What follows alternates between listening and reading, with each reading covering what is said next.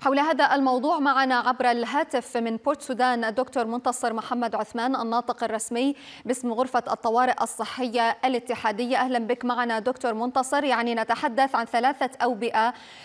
يعني ربما هي بدأت أن تتلاشى في بعض الدول مع أن لها علاج لكن ما الذي يفسر ظهورها في السودان؟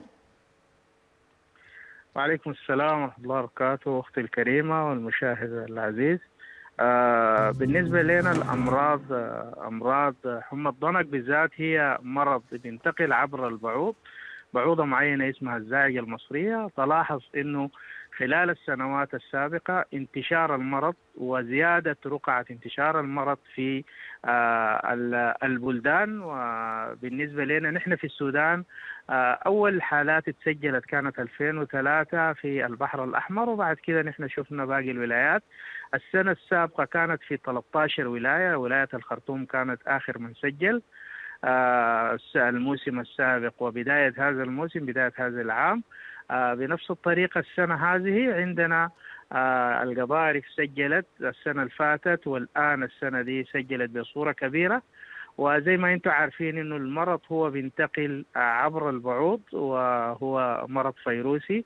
جزء من الحالات بتكون عندها حميات جزء ما عندها أعراض وجزء قليل جدا بيجي بمضاعفات اللي هو عنده مضاعفات دماء بيجي بدماء بيجي بنزيف. آه الوفيات بتكون كثيرة وسط وسط الحالات اللي بتجي بنزيف إذا لم تتم معالجتها بصورة دقيقة. طيب دكتور منتصر آه يعني أنت تتحدث نعم. بأن حمى الضنك هي يعني كانت بالأصل موجودة في السودان. طيب يعني ومنذ سنوات ليس هنالك أي إجراءات علاجية تم اتخاذها لربما محاربة يعني هذا البعوض أو حتى على المستوى الصحي؟ طيب أختي العزيزة الفنيين اللي يعملون في هذا في مكافحة البعوض يعرفون إنه من أخطر أنواع البعوض من الصعب إنه إنك يعني تنتهي منه هذا البعوض. الزاعجه المصرية بينتشر في أول شيء في المياه العذبة هو داير له قاعدة صلبة. يتواجد في المناطق بالذات الجبلية يتواجد في المناطق. للأسف الشديد نحن مع ندرة المياه بيحصل تخزين بالنسبة للمواطنين في البيوت.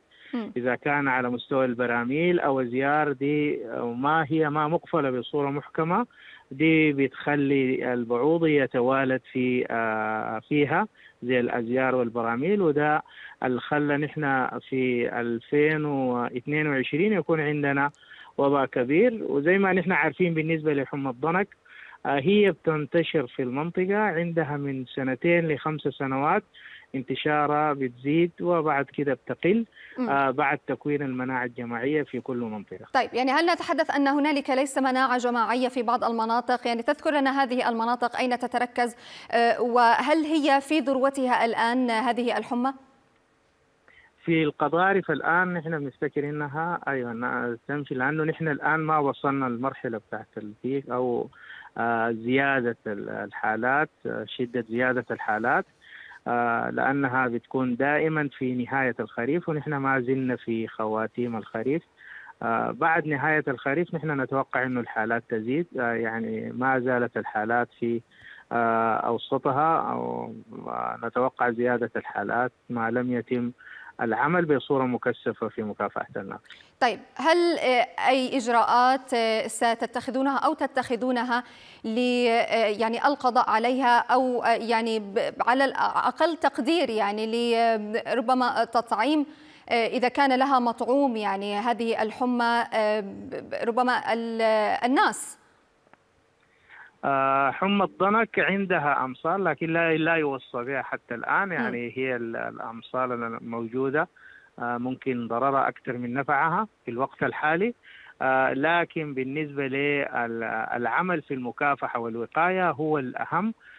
دور الدولة مهم فيها. الآن الولاية تشتغل بصورة مكثفة في حمله حملة لمدة أسبوعين لمكافحة الناقل بالولاية. وفيها دعم برضو من وزارة الصحة الاتحادية والمنظمات العاملة بالذات منظمة الصحة العالمية ومنظمة اليونيسيف. بالنسبة لحمى الضنك. بالنسبة للكوليرا إذا تفضلتي عندنا منظمات أيضا تعمل مثل منظمة أطباء بلا حدود الهولندية الآن العاملة في منطقة الجلابات موفرة وحدات ذات علاج. وعندنا برضو منظمة أطباء بلا حدود السويسرية اللي هي عاملة في الخرطوم بحري والآن هي عندها مركز علاج للحالات المشتبهة للكوليرا. واضح. شكرا لك دكتور منتصر محمد عثمان الناطق الرسمي باسم غرفة الطوارئ الصحية الاتحادية.